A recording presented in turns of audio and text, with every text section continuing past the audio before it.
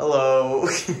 what is up, thrill seekers? I'm just hopping in to say thank you guys so much for 1,000 subscribers. It's like crazy to think that I have 1,000 people watching my channel. I mean, think about it. If y'all were all in a room then like everyone would get COVID. Like that's crazy. But honestly though, thank you guys so much. It's been a long way coming, almost like two years of having this channel. So thank you guys so much. I will be doing two different videos for a thousand subscribers. One of them is going to be a park challenge that you guys get to choose. So leave those comments down below.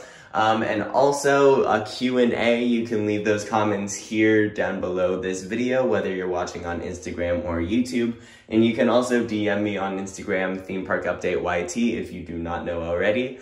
Um, so yeah, leave those questions down, leave those suggestions down. What should I do for my park challenge? Maybe I ride something a certain amount of times or try to do multiple parks in a day. I don't know. You guys come up with that and also leave your questions down below. What do you want to know about me? It could be coaster related, not coaster related. Leave those comments down below and I will probably make some sort of live video um, that I'll also end up like just normally posting as a normal video to YouTube. So yeah, do that and I will see you guys all next time.